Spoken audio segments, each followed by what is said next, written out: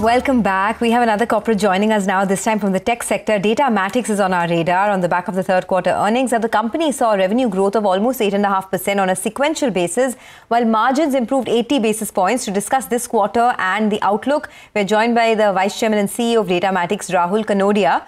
Uh, Rahul, good morning and thanks a lot for joining in. Uh, can you tell us, you know, for the nine months of this year, you've actually outperformed your own guidance. You've done about 17.5% revenue growth and you had guided for about 15%.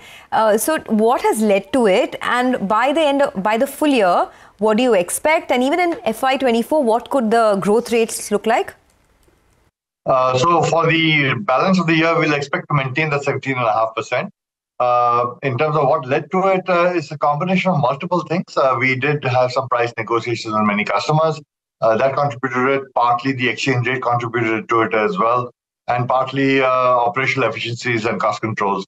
So it's a combination of all these things coming together. Mm. Next year looks uh, fairly robust. we are not seeing a slowdown in the market. We're not seeing a slowdown in deal flows. so therefore, I think next year should be equally healthy. Equally healthy. FY24 similar to FY23 then? Growth rates? Uh, it should be in the same range same. unless something happens. Then.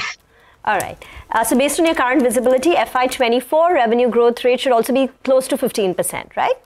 Yes. Okay. Can you tell us what led to the margin improvement of 80 basis points quarter on quarter? And 15.8, is that the base margin from here on? Yeah, that is certainly for this year the base margin. Uh, probably might even improve a little more than where it is. Uh, in terms of uh, what led to it, as I mentioned, it's a mixture of uh, price negotiations, the exchange rate, as well as operational efficiency, all of them coming together. And of course, a few new deals that we bought. We signed up about 13 new customers in this one quarter.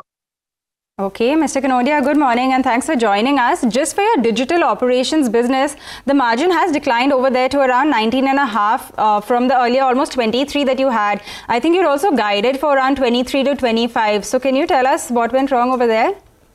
Mm, nothing wrong. Uh, we have a little element of cyclicality in our business. Q4 tends to spike. Q3, we ramp up headcount in anticipation for the business Q- Q4. So because of the ramp up in headcount and no commensurate revenue, hmm. you see a dip in the margin, but that's that's part of the normal cycle. So in Q4, it should be back at that level, around 23 to 25? That's correct. Okay. Uh, there is a price hike that has come through on about at about five to six percent.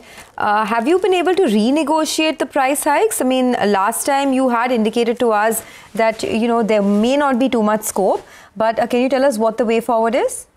Uh, yeah, we have been able to renegotiate prices across the board with several customers, not all customers. And of course, there's a range anywhere from 2, 3, 4, 5% to as much as 20%, depending on the projects that we're doing.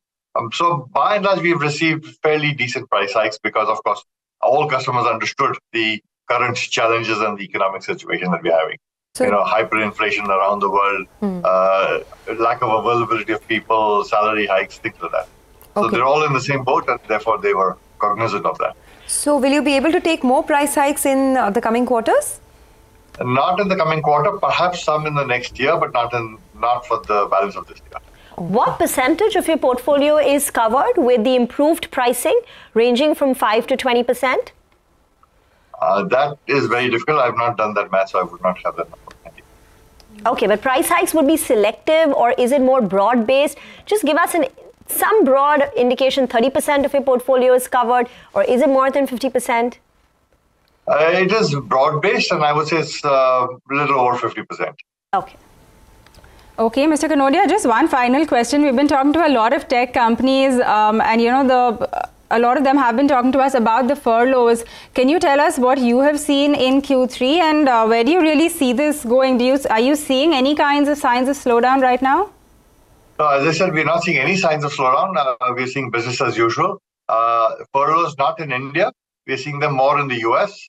Uh, but I think those are these overhyped companies. Some of them, of course, are very good companies, but nevertheless overhyped. I think it's that segment that you're seeing that you don't see that in the core industries. So on digital tech, uh, your margins were negative in Q2.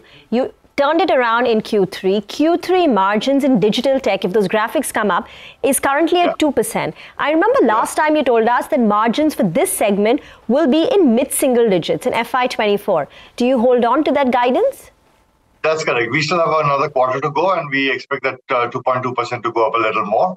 And therefore, the whole year we should certainly break even, but it will be in the mid single digits by the year end. So mid single digits for FY23 and FY24 uh, margins for, yeah. They will improve. 24 will improve even further. We're taking several steps to improve that.